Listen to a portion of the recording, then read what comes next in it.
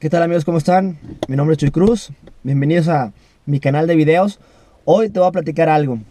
Estoy un poco triste o muy triste porque no pude correr el maratón de Aguascalientes. Ni siquiera el medio maratón de Aguascalientes.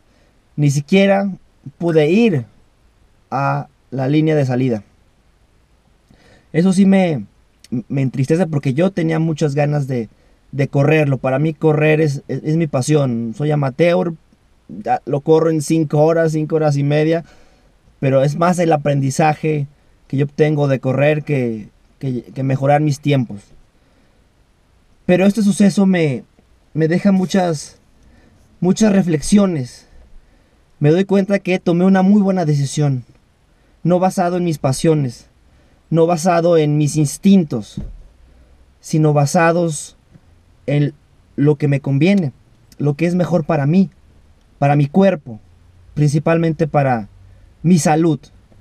Ya tengo la, de la semana pasada con problemas de cansancio crónico, después se me irritó la, la garganta, ayer mismo impartí un curso, terminé muy cansado de impartir el curso y yo me puse a pensar, pues el dolor no está en mis piernas, está en mi garganta. Pero ¿qué hubiera pasado si hubiera corrido? Posiblemente por el sol, por el cansancio. Si me hubiera afectado más la garganta y mañana que tengo que ir a Zacatecas a, a dar una conferencia, capaz que mi garganta hubiera estado cerrada. Qué difícil es tomar buenas decisiones. Pero qué fácil es cuando tomamos las decisiones no basadas en nuestras pasiones, sino basadas en nuestros talentos. Cuando tomamos decisiones basadas en las pasiones, siempre la vamos a regar. ¿Por qué? Porque son momentáneas, son a corto plazo.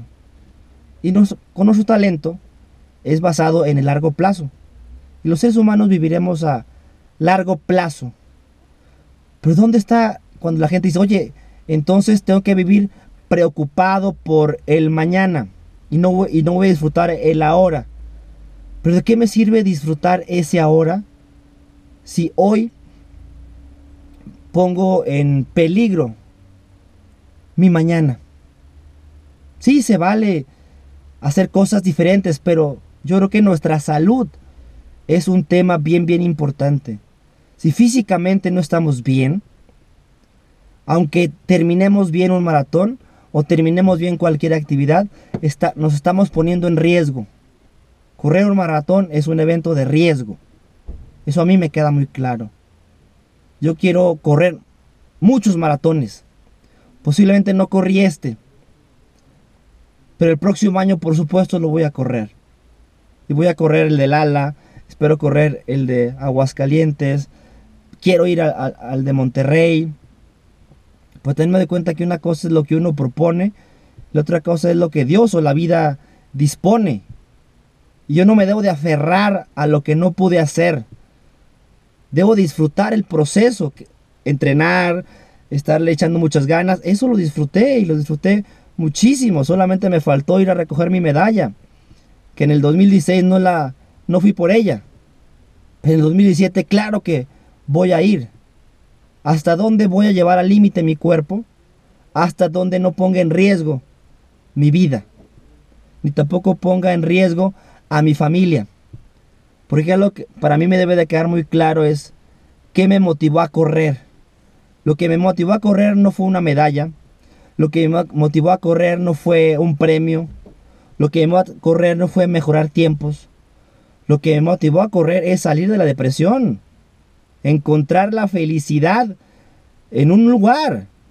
Y ahí lo descubrí. Entonces para mí un gran indicador es mientras yo corra y sea feliz, estoy haciendo lo que a mí me conviene. Pero cuando sufra por correr, cuando sufra por entrenar, creo que me estoy alejando de lo que me motivó a correr.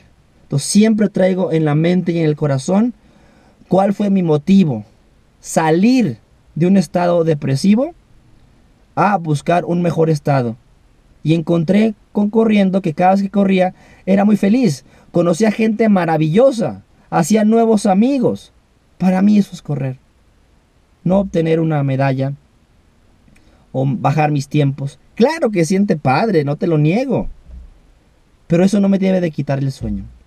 Ojalá que te haya gustado esta pequeña reflexión. Espero ya estar mucho mejor para el lunes que voy a estar en Zacatecas. Eh, me estoy cuidando, ahorita me voy a bañar para salir con, mis, con mi familia al cine, a convivir con ellos. Ellos no tienen la culpa de que yo me sienta muy cansado, me sienta... A, ellos no, no, les corresponde eso. Lo que ellos quieren es, es un papá presente. Y quiero ser un papá presente. Así que hasta la próxima amigos, ojalá que coincidamos en algo. Si no coincidimos, pues es mi punto muy personal. Ojalá que lo respetes. Y si coincides conmigo, pues no eres el único, ni yo tampoco me consideraré el único loco. Hasta la próxima amigos, tu amigo Chuy Cruz.